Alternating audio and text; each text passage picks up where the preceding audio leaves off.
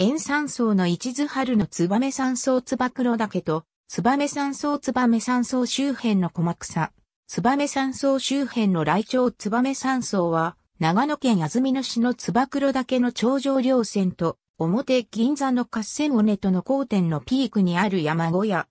中部山岳国立公園内にあり、北アルプスの山小屋の中で、有数の歴史があり、多くの登山者に愛用されている。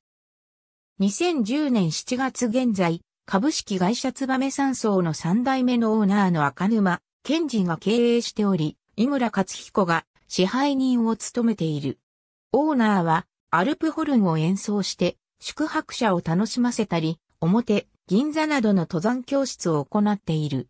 小屋の前からは、すぐ北側に白い花崗岩の奇跡と緑色の灰松が合い、真ったつば黒岳を望むことができる。また小屋の南側に回り込むと、槍ヶ岳を中心とした北アルプスと眼下に安曇野の絶景を一望することができる。山荘の周辺の花崗岩の砂利の斜面には高山植物の女王の小草が群生している。また、山荘周辺の灰松帯にはライチョウが生息している。